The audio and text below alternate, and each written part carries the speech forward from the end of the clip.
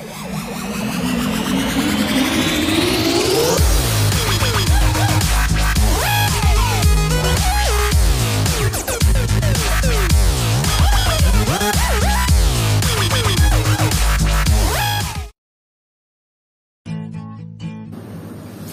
and welcome. We are going to introduce you to the new English reading paper format, which is Paper 1. For your information, there are five parts in the new format. However, we are just going to talk about the first part of the paper, which is Part 1. Okay, in Part 1, there are three testing focuses. So the first one is understand the main points in text on a wide range of familiar topics and some unfamiliar topics. Two, Understand specific details and information in text on a wide range of familiar topics. And 3. Guess the meaning of unfamiliar words from clues provided by other words and by context on a wide range of familiar topics and some unfamiliar topics. There are 8 number of items in part 1, namely 8 questions. For each question, there is a short text, which is not more than 90 words followed by a three option multiple choice which are A, B, and C. Now let's look at the learning objectives. By the end of the lesson, pupils will be able to understand at least two out of three main points in text on a wide range of familiar topics and some unfamiliar topics about people and culture, health and environment, and consumerism and financial awareness. Two, Understand at least two out of three specific details and information in text on a wide range of familiar topics about science and technology, people and culture, and consumerism and financial awareness. And three, get at least one out of two meanings of unfamiliar words from clues provided and some unfamiliar topics about science and technology and health and environment. So based on the learning objectives, we can see that there are 8 questions prepared in this video. All of them are based on the four themes, which are people and culture, health and environment, consumerism and financial awareness, and also science and technology. So let's look at the success criteria. Students can or are able to answer at least 5 out of 8 multiple choice questions in the reading paper part 1 accurately. Without further ado, let's look at the questions, shall we? The following questions are under the theme of people and culture. Let's look at the first question. The first question is about my mate and I. So the question says, which of the following is true? Based on the question itself, we can see that it tests whether you understand specific details and information in text on a wide range of familiar topics.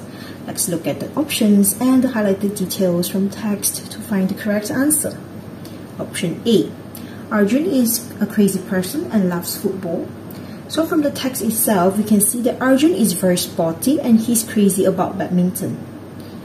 Therefore, option A is incorrect because Arjun loves badminton, not football. Option B, Arjun loves chatting on the phone and playing online games. So from the text, you can see the writer of the text and Arjun always chat on the phone or online and play online games. Therefore, option B is correct.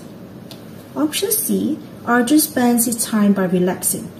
If you can read from the text, you can see that Arjun mostly spends his time chatting on the phone or online, playing online games, plays in the school badminton team, watching music videos, and learning dance moves. So he doesn't spend his time by relaxing. Therefore, option C is incorrect. And the only correct answer is option B. Now let's look at question number two. It is about the culture of Malaysia. From the article above, we know that. So based on the question itself, you can see that it is actually test whether you understand the main points in the text on a wide range of familiar topics and some unfamiliar topics. Let's look at the options. Option A, Malaysia is not influenced by the East or West. If you can see from the text itself, Malaysia is diverse and a melange of influences from both the East and the West. Therefore, A is incorrect because Malaysia is influenced by the East and the West. For option B, Malaysia only has Western cultures. However, if you look at the text, this combined with Western sensibilities. So it shows that Malaysia has a combination of Eastern and also Western cultures. So option B is incorrect. And option C, Malaysia is unique and has a lot of ethnics. If you look at the text, you can see that with an eclectic population spanning various ethnic groups, it shows that Malaysia has a lot of ethnic groups. Therefore, the correct answer is C. The next questions are based on the theme on science and technology. Question number three is about PDPR. If you look at the question, the following are the factors which need to be taken into consideration except. Alright, so this question is actually testing whether you understand specific details and information in text on a wide range of familiar topics. So let's look at the options and highlight the details in the text to find the correct answer. Option A, the internet connection. So from the text above, we can see that internet access actually means the same thing as the internet connection.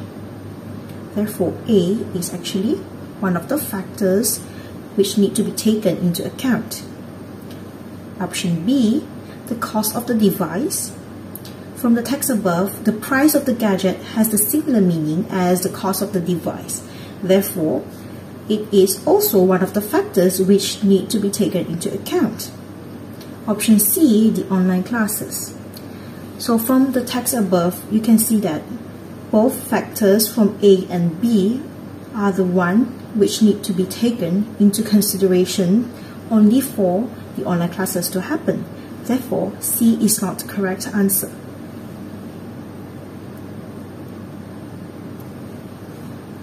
Let's move on to question number four. Question number four is about social media do's. Okay, let's look at the question. When you are told to control your privacy settings, it means you. From the question, you can see that it actually tests on whether you can guess the meaning of unfamiliar words from clues provided by other words and by context. Let's look at the options. A. Tag those who control your Facebook account. So from tagging people in the text above, you can see that you are just tagging friend when you are posting pictures of them and it doesn't mention anything about Facebook account. Therefore, A is wrong. Option B, remove friends who alter your privacy settings. So from the text above, when you are removing friends, it is because they are blasting you with negativity. Therefore, B is wrong too. Option C, decide what people can see on your social media. In the text above, we can look and see that keep up with the changes that Facebook makes to those privacy settings. Therefore, option C, you change those privacy settings and then people will only be able to see what you decide what they can see. Therefore, the answer is C. Next, the questions are about consumerism and financial awareness. For question 5, it's about Elda vacuum cleaner. Let's look at the question. Which statement is true about Elda vacuum cleaner? So based on the question itself, you can see that it tests whether you understand the main points in text on a wide range of familiar topics and some unfamiliar topics. Let's look at the options. Option A, it wastes electricity. So from the text itself, we can see that consuming 80% less electricity. So option A is incorrect because it doesn't waste as much electricity. Option B, it does not have wire. So if you look at the word cordless, it means no wire. Therefore, option B is correct. Okay, let's look at option C. Option C, it says it needs a lot of storage space. But if you look at the text, easy wall mount storage, that means whatever you mount on the wall doesn't consume as much space. Therefore, option C is incorrect and the only correct answer is B. It does not have wires. For the next question, it's about a job vacancy on sales representatives the question is, which of the following is true?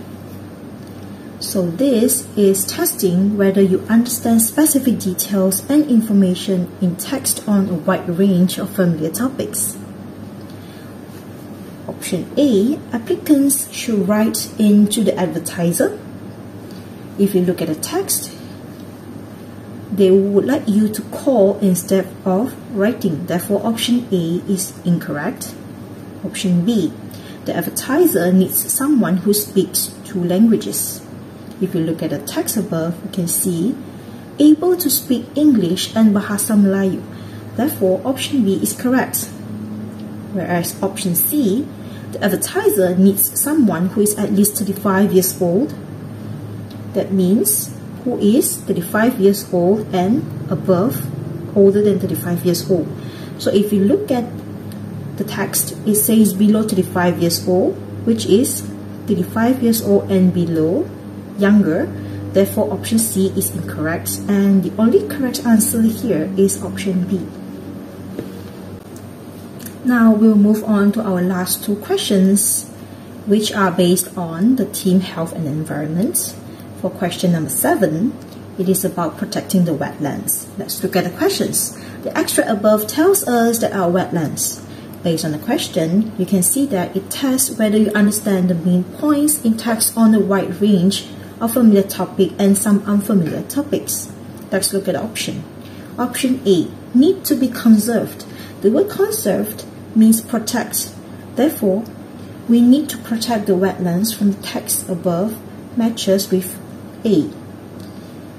Option B are not the habitat of the wildlife. So from the option, uh, from the text above, we can see that the wetlands are a heaven for wildlife and are a part of our natural heritage. So heaven for wildlife means it is a safe place for the wildlife. So it is the habitat of the wildlife. Therefore, option B is incorrect. Option C increases the world's wealth. The wetlands are among the world's richest ecosystem. So in the text, it is talking about a rich ecosystem, but not about the wealth. Therefore, option C is incorrect. And the only correct answer is A. For our next question is about women have babies with Down syndrome. So the question is when something happens randomly, it means. So what is being tested in the question you have just seen, it is actually testing whether you can guess the meaning of unfamiliar words from clues provided by other words and by context. So let's look at the options. Option A, it happens accidentally. So from the text itself, it is an accident of nature. So it doesn't mention anything about randomly. Therefore, option A, incorrect. Option B, it could happen to anyone. So it could happen to anyone means randomly, which is what we can see from the text above. Therefore, option B is correct. And option C, it is compulsory to happen to women who conceive after the age of 35. The word here is compulsory, which means it must happen. But if you look at the text, a woman's chance of having a Down syndrome baby increases with age, especially after 35. It says the chances increase, not compulsory. Therefore, C is incorrect, and the only correct answer is B. It could happen to anyone.